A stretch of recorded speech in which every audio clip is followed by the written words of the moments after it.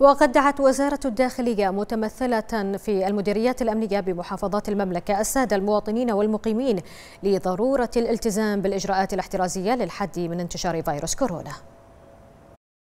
تبذل وزارة الداخلية كافة الجهود والإجراءات من أجل المحافظة على سلامة المواطنين والمقيمين لاحتواء فيروس كورونا ومنع انتشاره. وفي هذا الإطار تؤكد المديريات الأمنية بضرورة مواصلة الالتزام بعزم بالتدابير الوقائية والإجراءات الاحترازية. لابد آه، من آه، الحرص على توعية جميع أفراد المجتمع بحجم المسؤولية المتمثلة في التزامهم بالإجراءات الاحترازية.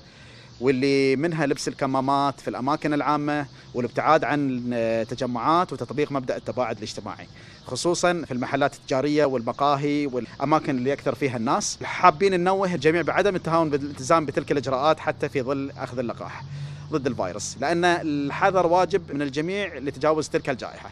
مديريات شرطة محافظة المحرق مستمرة في الحملات التوعوية في عموم محافظة المحرق. سواء للجمهور أو المحال التجارية. للتأكد من تطبيق كافة الإجراءات الاحترازية.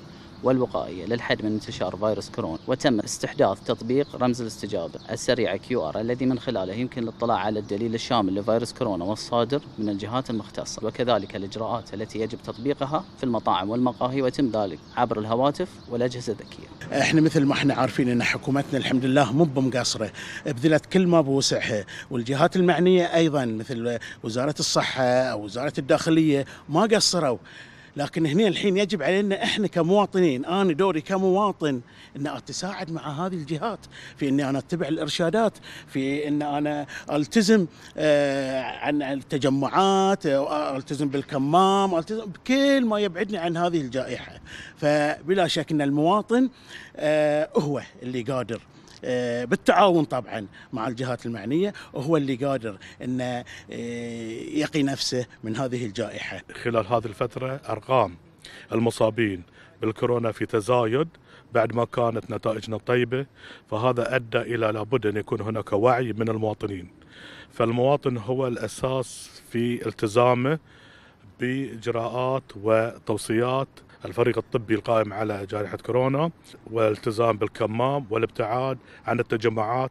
نرى في مملكة البحرين جهود جبارة من المديريات الأمنية المنتشرة في مملكة البحرين سواء كانت في توعيتهم في نشرهم هذه الوعي سواء كانت كمامات توزع على المواطنين.